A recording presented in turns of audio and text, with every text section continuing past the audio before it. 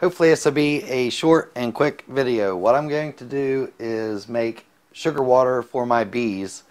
Um, they've been on sugar water almost from day one that I put the nucs in the beehives.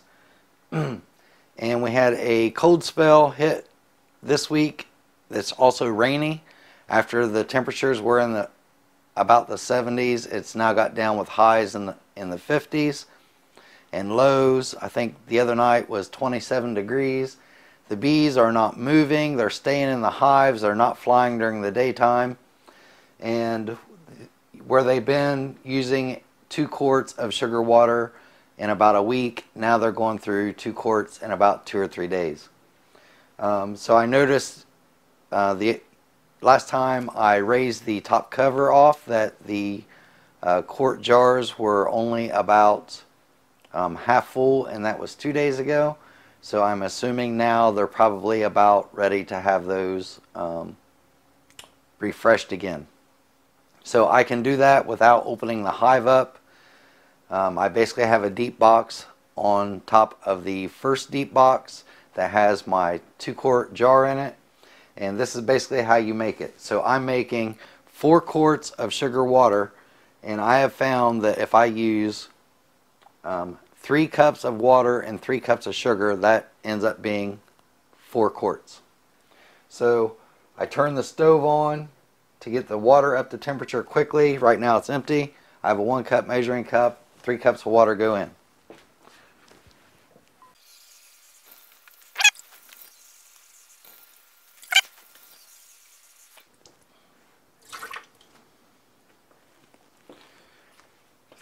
Three cups, now you heard me running plain tap water and that's because I live in the country. We do not have country or city or treated water out here. My water comes straight out of a cistern. It goes through a filter for sediment and uh, it's a one micron filter. And so there's no chance that I've got any chemicals or chlorine in my water other than what is whatever is in the sky anyways. So I'm basically going to heat this water up. I'm going to get a separate measuring cup, one cup measuring cup, because that one's obviously wet and when I go to pour the sugar in there, I don't want it to stick to the measuring cup. So give me just a second to find it because as always, I am not ready for this. Where is my other one cup measuring cup?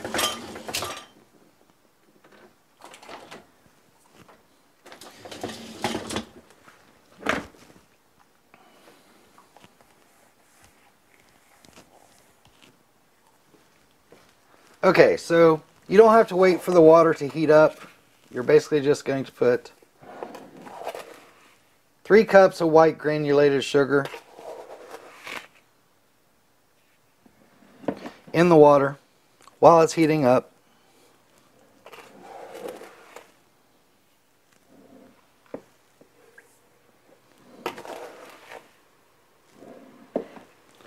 I don't usually like to let it boil, so I'll actually turn the temperature down.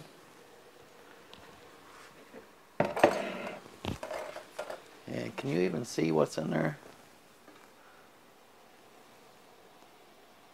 And then immediately start stirring with something that I don't have on hand yet. And I'm going to hold this up here, hopefully where you can see it.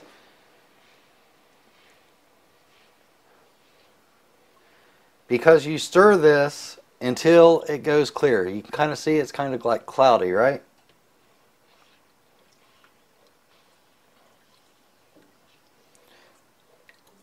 That means that the sugar is not dissolved yet.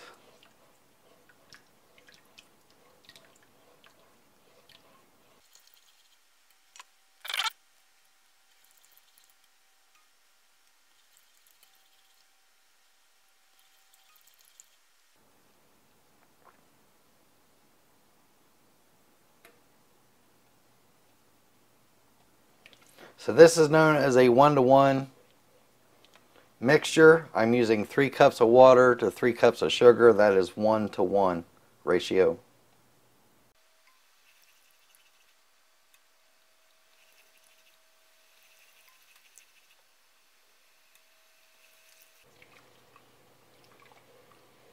You will notice the more I stir it, the more it steams.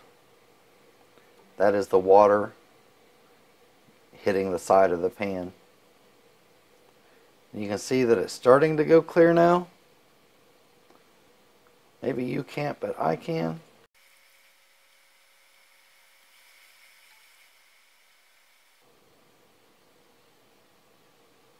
I really don't want this water to boil, so I need to turn it down just a little bit.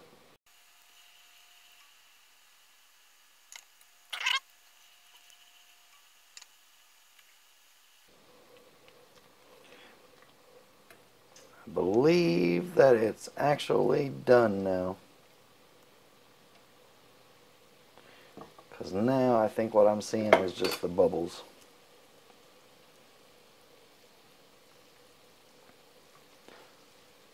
So I'm going to move this off to the side. Yeah, it's definitely, it's done now. See if I can get this where you can see.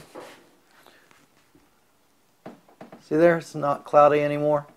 Clear. You can actually see all the way down to the bottom.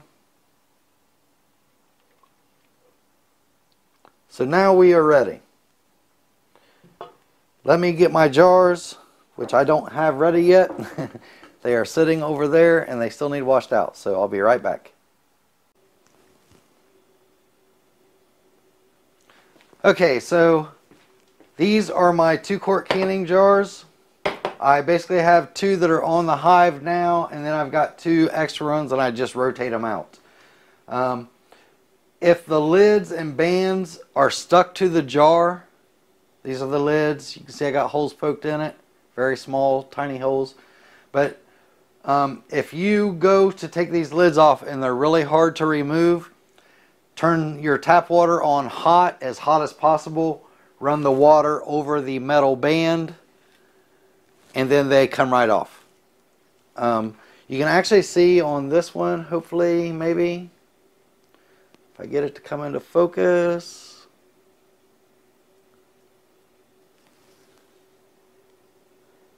Up here, camera. That brown stuff is bee propolis.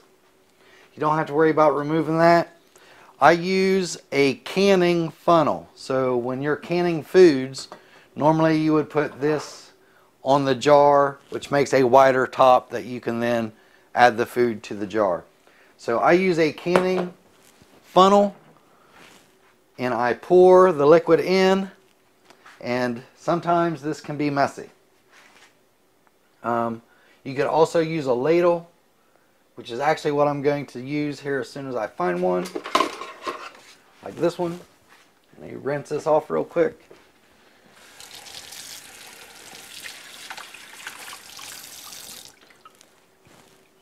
I had actually previously been pouring it in from this pan to there. But no matter how I pour it, this has some sort of a weird edge. And because of that weird edge, it spills every time. So I'm just going to use this ladle. It's going to take longer to do it this way. Oh well. Less for me to pick up or clean up.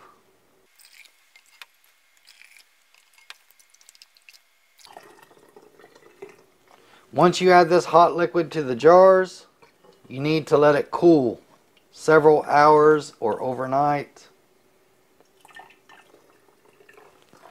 till it's to room temperature before putting it on the hives.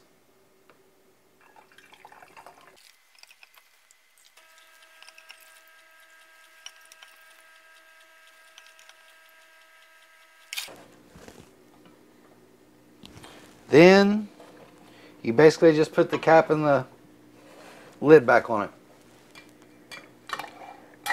and tighten it up.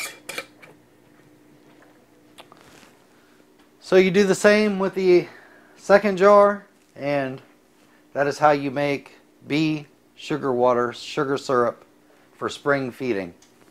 Um, a beehive can starve to death in only four days if they run out of food and when the weather is cold like now, where they're not flying, they're spending all their time in the hives, um, they need that additional sugar syrup uh, to keep them alive.